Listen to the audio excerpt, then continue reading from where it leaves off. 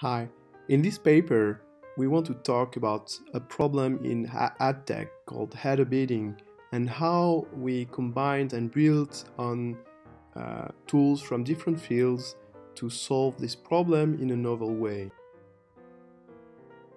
As you may know, many ad placements on the web are sold in real time while your content is loading.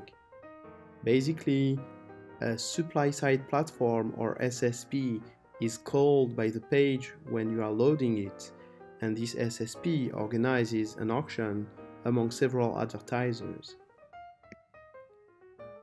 What you may not know is that a recent trend in ad tech is to call several SSPs and organize a secondary auction among them. This organization is called header bidding. The SSP is faced with the problem of choosing the price to pass to the publisher. If it passes a price that is too high, then it loses money. If the price is lower or fees higher, it will make more money. But if the, if the fees are too high, then it loses everything because other SSPs will win.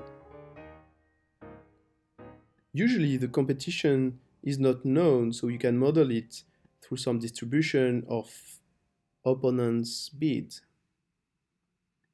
For each auction, we are faced with a bandit problem.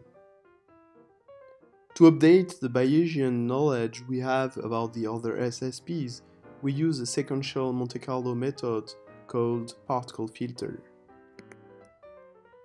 We combine this approach with Thompson sampling to decide which arm to choose.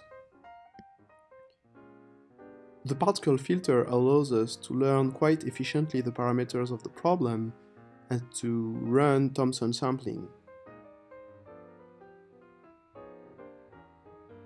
Here you can see a representation of the different particles that represent the distribution of the parameters of the opponent.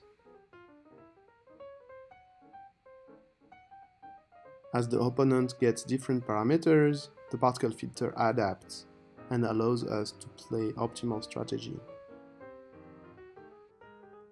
If you want to learn how sequential Monte Carlo methods can be combined with Thompson sampling to solve real-life problems, please read our paper or join us this summer in London.